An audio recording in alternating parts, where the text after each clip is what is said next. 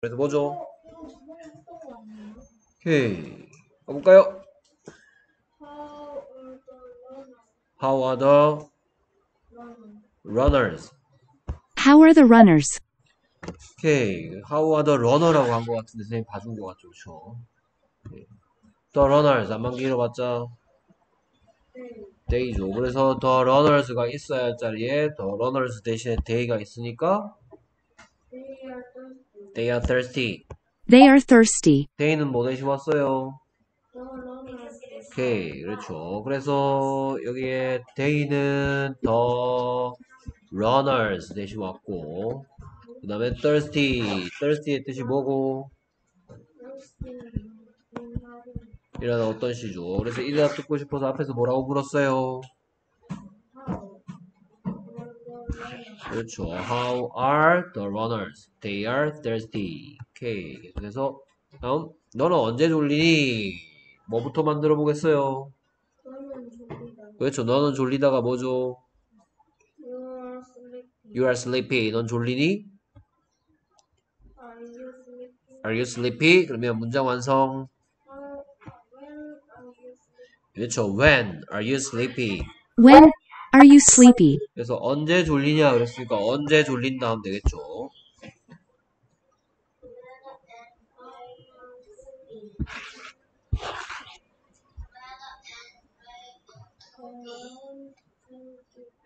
오케이 뭐라고요?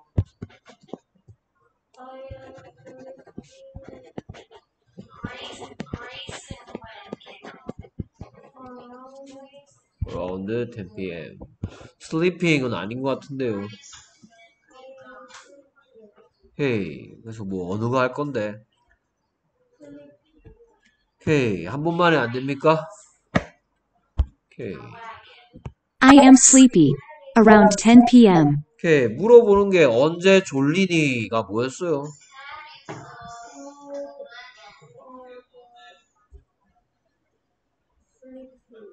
뭐라고요?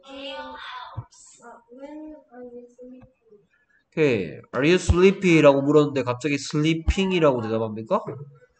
이- 여기에 분명히 sleeping도 나오는데 sleepy하고 그러면 sleeping하고 sleep하고 이 세 녀석에 대한 설명 좀 해주세요.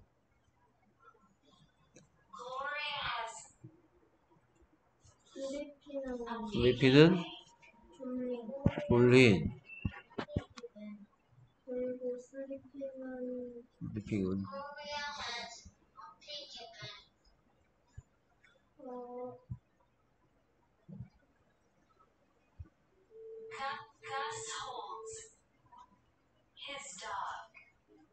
가스터 sleep의 뜻을 알면 sleeping의 뜻은 자동으로 아는 거 아니야? Gus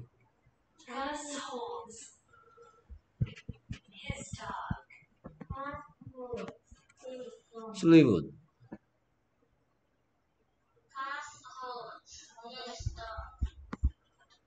아니 sleep도 있고 sleeping도 있단 말은 sleeping은 sleep에다 ing 붙인 거고 그럼 ing 붙일 수 있는 건 무슨 시야? 그러면 sleep의 뜻은 당연히 뭐겠어? 자다겠지. 그러면 나는 졸린다고 얘기한 거야. 나는 자고 있다 그러는 거야. 그러면 I am sleeping이야. I am sleepy야. 오케이. 그래서 around 10 pm이 대략 10시쯤이니까 무슨 어떤 질문에 대한 대답이에요? 언제 라는 질문에 대한 대답이니까 이 대답 듣고 싶어서 뭐라고 물어요?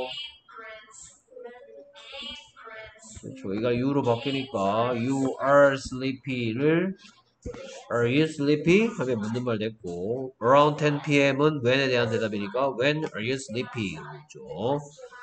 오케이. 그래서 너는 10시에 깨어 있냐입니다. 뭐부터 만들어 보겠어요? 오케이. 자, 그렇게 뭐 긴 거 만들 필요 없고요. 누가 다만 먼저 만들면 되죠.